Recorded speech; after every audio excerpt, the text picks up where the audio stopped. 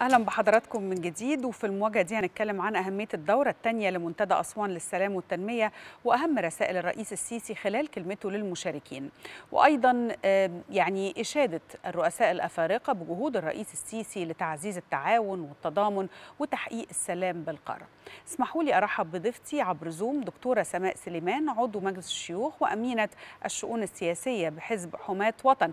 دكتورة سماء مساء الخير واهلا بحضرتك في المواجهة. مساء الخير يا أستاذة ريهام واهلا بحضرتك والساده المشاهدين.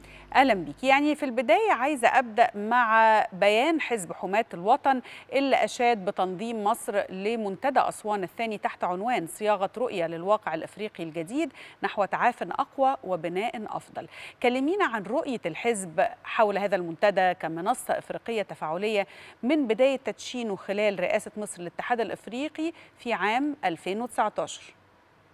الحقيقة إن حزب حماة الوطن يعني بيتابع الشأن الخارجي يعني منذ تولي الرئيس عبد الفتاح السيسي الحكم في 2014 ويمكن ده تواكب مع بداية نشأة حزب حماة الوطن وبالتالي إحنا عارفين الدوائر الخارجية اللي بنتحرك فيها سواء كانت العربية أو الأفريقية وطبعا إحنا متابعين إن الدائرة الأفريقية كان فيها عدم تركيز في فترة كبيرة من الزمن والحقيقة إن السيد الرئيس ركز عليها بشكل مكثف وطبع ووفق استراتيجية محددة سواء تجاه دول وادي النيل أو تجاه القارة الأفريقية كلها. ويمكن الجهود اللي قام بيها السيد الرئيس من خلال الزيارات العديدة اللي قام بيها للدول الأفريقية ودول كثيرة جدا منها لم يزورها أي رئيس مصري سابقا وبشكل متتالي ومتتابع. أيضا حرصه الشديد على حضور المؤتمرات الخاصة بأفريقيا مش بس تبع الاتحاد الأفريقي لكن أيضا أي منتديات سواء كانت الصين أفريقيا الهند أفريقيا اليابان أفريقيا. وأعتقد إن كمان تكثيف هذه الزيارات أثناء رئاسة مصر للاتحاد الأفريقي عام 2019 ومشاركة مصر في تفعيل استراتيجية أجندة أفريقيا 2063 كان ليه صدى كبير جدا. ويمكن تفعيل أيضا اتفاقية التجارة الحرة في فترة رئاسة مصر للاتحاد الأفريقي كان ليها أثر كبير في إحداث التنمية المستدامة داخل القارة الأفريقية. فبالتالي نحن يعني في الحزب إحنا بنتابع النشاط الخارجي للسيد الرئيس من منطلق إن هو بيسعى لتحقيق التنمية المستدامة داخل مصر وأيضا داخل القارة الأفريقية. إيمانا بأن تحقيق التنمية سوف يقضي على العديد من المشكلات اللي بتواجه القارة سواء كانت مشكلات اقتصادية أو كانت مشكلات أمنية أو كانت مشكلات سياسية. طبعا إحنا متابعين إن القارة الأفريقية قارة واعدة ولديها العديد من الثروات وأيضا هناك يعني استشعار كبير جدا من قبل دول العالم بأهمية هذه القارة وبالتالي في تنافس كبير أيضا لكن مصر القيادة المصرية بتنظر إلى هذا التنافس الدولي على انه هو فرصة للدول الأفريقية بإن إحنا نستثمر هذا التنافس الدولي لتحقيق التنمية وخاصة إن القارة الأفريقية بحاجة لتحقيق التنمية في البنية التحتية في في إن يكون في أطراف متعددة بتعرف تعرف مشاكل القارة الأفريقية بشكل جيد وتدخل في وساطة في النزاعات المسلحة وفي حل الإشكاليات الأمنية اللي بتواجهها وخاصة على رأسها الإرهاب. ويمكن ال ال يعني في سنة 2020 إن العالم كله أصيب يعني بمشكلة بازمه كورونا فكان ليها تداعيات وتأثيرات كبيرة جدا لكن ده لم يمنع القيادة المصرية الممثله في السيد الرئيس بالاستمرار في عقد المؤتمرات المختلفة الخاصة وبتهتم بالشأن الأفريقي من خلال منظمة الاتحاد الأفريقي أو حضور المؤتمرات الافتراضية تمام.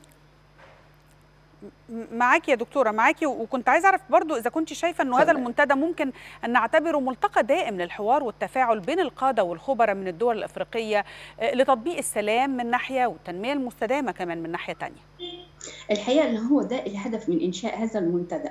وكمان الهدف من تأكيد القيادة السياسية على استدامة هذا الهدف.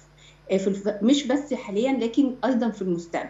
فهذه هذا المنتدى سوف يعقد بشكل دوري ولأن في كل سنة بيهتم بقضية من القضايا اللي بتهم القارة الأفريقية ويمكن النهار يعني في المنتدى الحالي كان تركيزه على إزاي إن إحنا دولة الدول الأفريقية عامة تحل مشكلاتها أو تداعيات اللي أصيبت بها الدول الأفريقية من جراء أزمة كورونا. يمكن السيد الرئيس في خلال كلمته كان واضح جدا في استعراض المشكلات والتداعيات اللي حصلت سواء كانت على المستوى الاقتصادي أو على المستوى التكنولوجي أو على المستوى الأمني. والحقيقة إن إن السيد الرئيس في خلال كلماته ركز على الفرص المتاحة وطرح الحلول الكثير من الحلول لتحقيق السلام المستدام وأيضا التنمية المستدامة. فعلى المستوى الاقتصادي الحقيقة الرئيس أكد على ضرورة تفعيل اتفاقية التجارة الحرة وعلى مشروعات البنية التحتية وأيضا مشروعات النقل والطرق والربط الكهربائي. وأيضا تعزيز التكامل الاقتصادي والاندماج الإقليمي وتهيئه بيئه مواتية لتحقيق مستويات أعلى من النمو وتوفير فرص عمل لتجاوز التداعيات الاقتصادية لجائحة كورونا. أيضا زي ما حضرتك متابعة وكلنا متابعين إن في في مصر في استراتيجية للتحول الرقمي لكن إحنا متابعين أزمة كورونا إن ليها تداعيات التكنولوجيا حلت كثير صحيح. من المشاكل اللي إحنا قابلناها في العديد من المجالات زي ما حضرتك عارفة زي التعليم آه ودلوقتي بقى التعليم عن بعد والامتحانات عن بعد. أيضا العمل في قطاعات كثيرة جدا أصبح عن بعد وده كان ليه تأثير في إنه يخفض برضو من نسب الكورونا بشكل أو بآخر. وبالتالي السيد الرئيس كان حريص إن إحنا إن هو يدعو بزيادة الاستثمار في هذا المجال لأنه مجال مهم من الناحية في الناحية المستقبلية. كويس، أنا عايزة فعلا أتوقف أمام بقى على ذكر رسائل الرئيس، يعني خلال كلمته النهارده قدام المنتدى أو أمام المنتدى الرئيس قال إن مصر حرصت على إقامة الدورة الثانية بشكل افتراضي للاستفادة من قوة الدفع في الدورة الأولى وما حققته من نجاحات الوقت الراهن الأمثل لنتدارس معا التحديات الجسيمة. دلالة عقد هذا المنتدى رغم وجود هذه الجائحة؟ الحقيقة أن الهدف الأساسي من عقد هذا المنتدى هو طرح الرؤى من خلال الخبراء المختلفين المشاركين في هذا المنتدى لكيفية تطوير السياسات التنموية لتحقيق التنمية المستدامة في كافة الأبعاد اللي كان ليها اللي تأثرت بتداعيات أزمة كورونا خاصة على المستوى الاقتصادي، المستوى الاجتماعي، على المستوى البيئي، وفي محاولة من الخبراء أنهم يوصلوا لحل شامل أو تعافي شامل من تداعيات أزمة كورونا، فده الهدف الرئيسي من عقد هذا المنتدى وإن ده الهدف من وراءه. وإن هذا توقيت مهم للغاية لأن أيضا زي ما تفضل السيد الرئيس وأشار إن على المستوى الأمني إن أزمة كورونا كان لها تأثيرات في تفاقم الأخطار اللي بتواجه القارة. وخاصة على مستوى النزاعات المسلحة، الحروب الأهلية اللي هي. دي بتحول دون تحقيق تحقيق واستدامة الأمن داخل القارة اللي هو أساس التنمية في الأساس. أيضا الإرهاب كان بيأثر كتير جدا على استقرار الشعوب الأفريقية وزاد من الجرائم الأخرى زي انتشار الأسلحة وتهريب الأسلحة أيضا تفاقم الجرائم والجرائم المنظمة والإتجار في البشر والهجرة غير الشرعية والنزوح القسري فبالتالي أزمة كورونا بدل ما قبل كورونا في 2020 ما كنا الهدف القضاء على التحديات اللي بتواجه الأزمة لا هذه الأزمة فاقمت من التحديات اللي بتواجه القارة.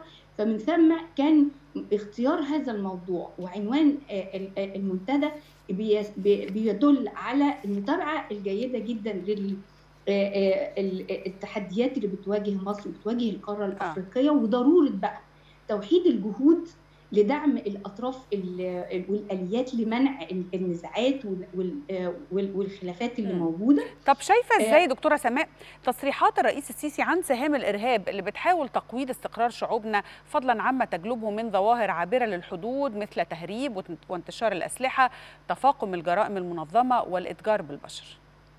الحقيقة خلينا نتفق إن السيد الرئيس لديه رؤية وهي دي اللي إحنا بنحققها في الوقت الحالي إن هو تحقيق التنمية الاقتصادية من شأنه أن يقضي بالتدريج على الإرهاب في كل الدول مش بس في مصر لكن في المنطقة العربية وأيضا في الدول الأفريقية. فهذه التنميه الاقتصادية معناها استقرار، معناها استمرارية الدولة الوطنية. فهذه الفلسفة اللي تبناها السيد الرئيس منذ توليه الحكم قادرة أنها تحقق الاستقرار المست... والسلام المستدام وأيضا التنمية المستدامة الحقيقة من متابعتنا للسياسة الخارجية المصرية ومن الكلمات اللي بيدلو بيها السيد الرئيس في المنتديات المختلفة والمؤتمرات المختلفة إن هو نجح بشكل كبير إن هو يوصل وجهة النظر المصرية لتحقيق التنمية في المنطقة وفي القارة الأفريقية هي القادرة على القضاء على الإرهاب وأيضا تحقيق التنمية اللي كل دول العالم بتهدف اليها الآن.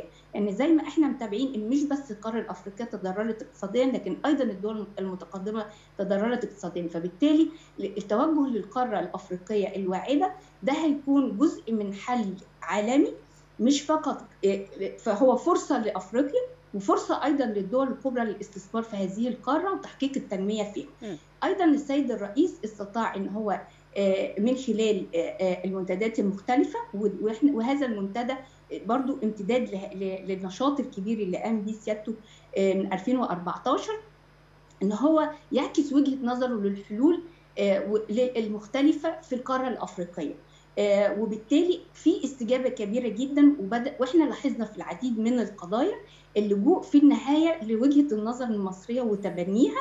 ويمكن إحنا متابعين في العديد من القضايا سواء كانت مثلا في الأزمة الليبية سواء كان ما يحدث في آه في القرن الأفريقي ما يحدث لدى العديد من الدول الأفريقية. آه فالحقيقة إن إن مصر في عهد الرئيس عبد الفتاح السيسي استطاعت إنها تتبنى رؤية واضحة جدا ومحددة الأهداف وإنها تضع القارة الأفريقية على أولويات أجندتها وإن هي ترجع القارة الأفريقية لمكانتها الحقيقية في السياسة الخارجية المصرية وإن الحقيقة إن إن إن مصر بتهدف في النهاية إن هي تحقق التنمية. أيضا مصر من خلال هذا المنتدى طرحت نفسها إنها مسؤولة مش فقط في حل القضايا لكن أيضا في حل ما ما بعد يعني حل النزاعات سواء كان عن طريق بناء قدرات يعني مؤسسات الدول إنها تقدر تصمد في الفترة القادمة وأيضا إن هي تكون مس... إنها تكون مشارك في ملف إعادة الإعمار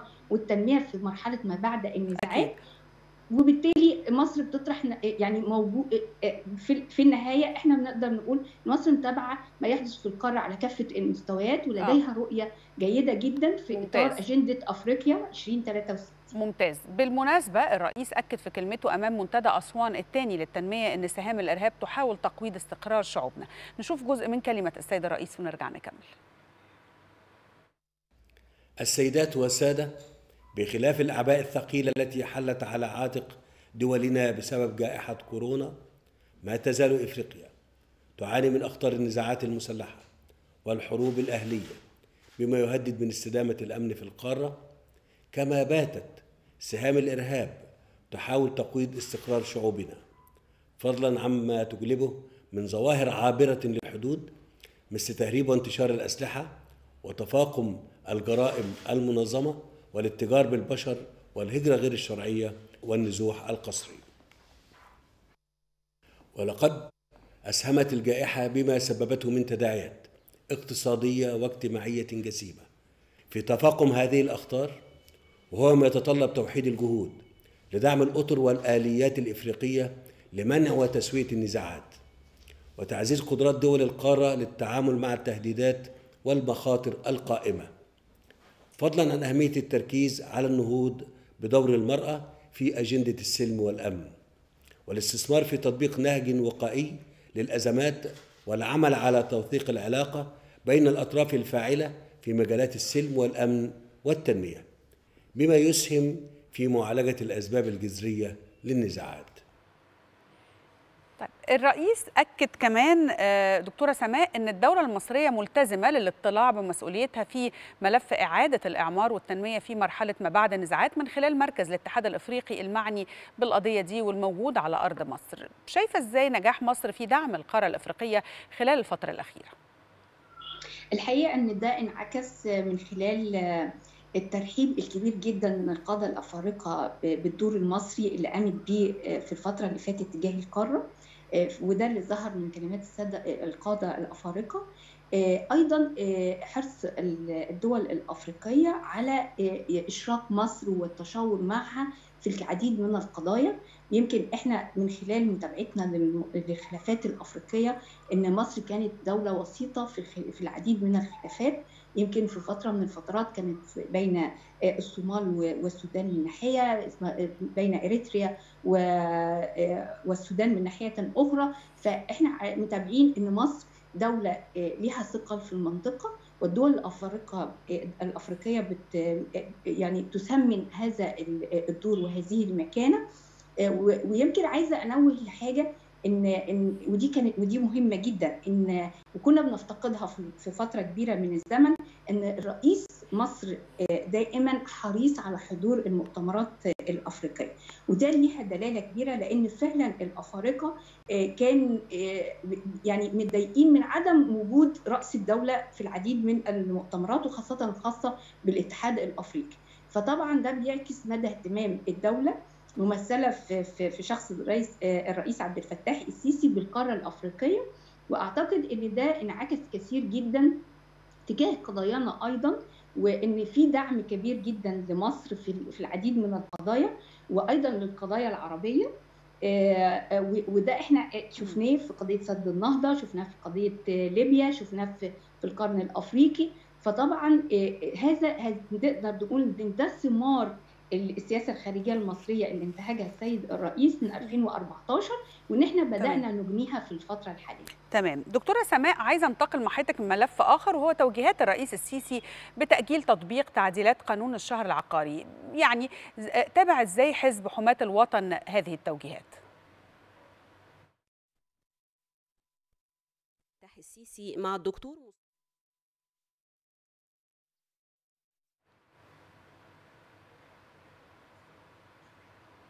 دكتورة سماء معانا أنا كنت عايز أسأل حضرتك تابعته إزاي في حزب حماة الوطن؟ توجيهات الرئيس عبد الفتاح السيسي فيما يخص الشهر العقاري وتأجيل القانون.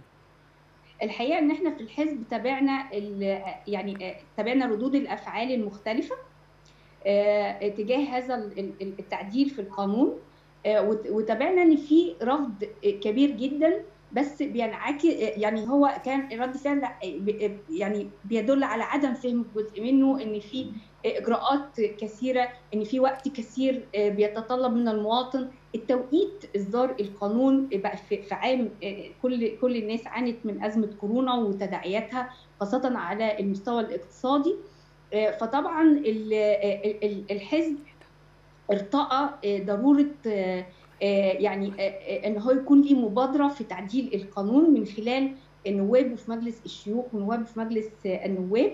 وده الحقيقة اللي إحنا بنعكف عليه الآن ودراسته من خلال قانونيين. أنا عارفة إن الحكومة هتقدم تعديل وأيضا في أحزاب كثيرة هتقدم تعديل للقانون لكن إحنا برضو شغالين على تقديم تعديل بس يكون أكثر شمولا وأكثر ويكون في رؤية أكبر للمشكلة لأن هي مش مشكلة فقط الشهر العقاري لكن هي مشكلة كبيرة جدا في كثير من القوانين المرتبطة في هذا الشأن. وبالتالي أنا عايزة أقول إن استجابة السيد الرئيس السريعة دي بتعكس المتابعة الحثيثة للقضايا اللي موجودة في المجتمع وسرعة الاستجابة وبرضو كان كان على التوازي يعني الأحزاب بتتحرك بشكل كبير وبيانات صدرت عن هذه الأحزاب وبتعكس يعني تواصل مع مع الشارع. وأيضا الحكومة اتحركت بشكل كبير وبدأت تدرس وتعقد اجتماعات. وأيضا السيد الرئيس في النهاية طلب تأجيل تنفيذ هذا التعديل لمدة سنتين حتى يعطي فرصة ان الناس برضو يعني ما تكونش مضغوطة بشكل كبير نظرا للظروف اللي إحنا بنمر بيها في الفترة الحالية.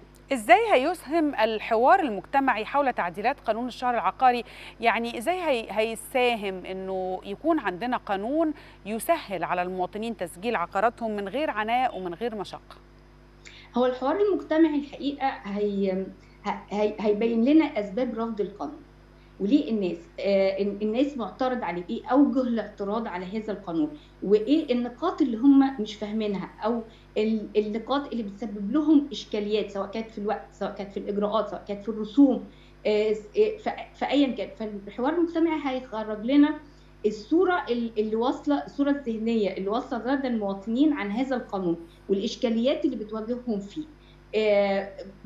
برضو هي هتمكن الدولة من إنها تشوف يعني أمام هذه المعوقات هل هي تقدر تحقق الهدف الرئيسي ليها إن هي ترصد الثورة الثروة العقارية لديها إنها تنظم هذه الثروة إنها أيضا يكون في رسوم معينة لكن لا تثقل على كاهل المواطن في نفس الوقت؟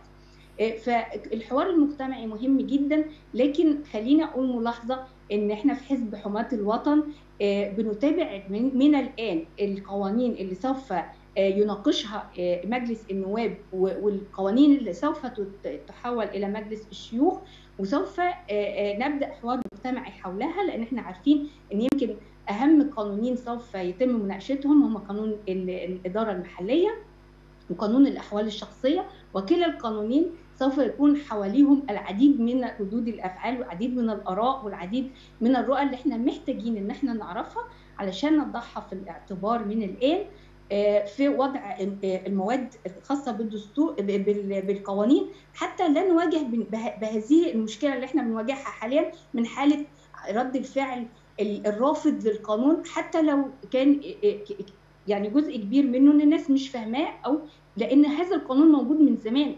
لكن الإشكالية الأساسية إن تم ربطه بإدخال المرافق. لكن كل الناس كانت مش بتروح تدفع ولا بتسجل لكن إن هي اصبح دلوقتي مشروعاتها وعقاراتها وبيوتها متوقفة وما تقدرش تدخل لها المرافق إلا إذا راحت سجلت في الشهر العقاري فدي الإشكالية الأكبر. هي يمكن جزء منها جيد بالنسبة للدولة إن هي بتشجع المواطن إن هو يروح يسجل لكن في نفس الوقت عطلت المواطن على إن هو يستكمل العقارات العقار الخاص تمام. أنا أنا بشكر حضرتك. شكرا جزيلا على وجودك معنا دكتورة سماء سليمان عضو مجلس الشيوخ وأمينة الشؤون السياسية بحزب حماة الوطن. شكرا لحضرتك. شرفتينا النهارده في المواجهة. هنروح لفاصل وبعد الفاصل مواجهتنا الثانية حول مبادرة أولادنا واهميتها في تحقيق الاستقرار الاقتصادي للأطفال. كريمي النسب والأيتام. استنونا.